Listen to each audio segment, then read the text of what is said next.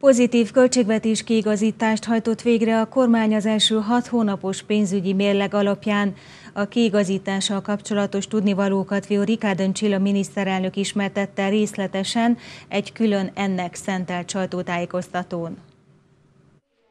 A kormány tartja magát a 2,97 százalékos költségvetési hiány célhoz, ami tehát az Európai Unióval szemben vállalt 3 százalékos küszöb alatt marad, állította a miniszterelnök.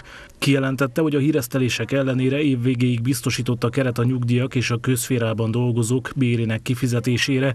850 millió lejjel nő meg a nyugdíjakra fordítandó összeg.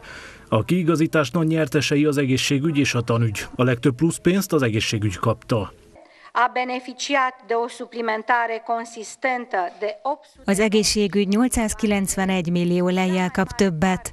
Az összeg legnagyobb részét orvosi eszközök beszerzésére szánjuk. Vásárolunk 300 inkubátort, 300 hallásvizsgáló készüléket újszülötteknek és egyéb szülészeti eszközöket.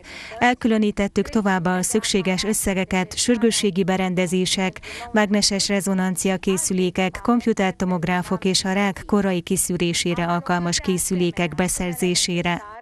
A tanügy 178 millió lejt kap ösztöndíja kifizetésére és beruházásokra. A mezőgazdasági minisztériumnak 110 milliót különítettek el az afrikai sertéspestis járvány megállítására és a tenyésztők kártérítéseinek kifizetésére. Az adóhatóság 278 millió lejt kap a költségvetés kiigazítás során, amelyet az informatikai rendszere felújítására, a vámhivatalok felszerelésére fordíthat. A belügyminisztériumhoz 366 millió lej kerül pluszba, ezt az összeget a járműpark bővítésére, illetve közel 8000 új rendőri állás létesítésére fordíthatja. A Roncsautó program keretében további 30 ezer értékjegyet bocsáthatnak ki.